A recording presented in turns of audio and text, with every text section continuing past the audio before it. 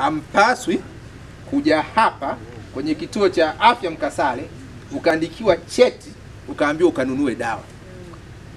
Naomba na sisi mtuambie, sawa sawa, ili tuweze kuchukua hatua, kwa sababu amenithibitishia dawa katika ngazi ya wilaya zaidi ya asilimia themanini zipo, na hapa kwenye kituo nimemuuliza mganga, mganga, mganga hapa mfawidhi, naye amesema dawa zipo, na bahati nzuri sasa hivi tumeweka serikali utaratibu wa kuwaleteni dawa mpaka hapa, si mnaona magari yetu yanakuja ya MSD, tunaleteni dawa za kutosha.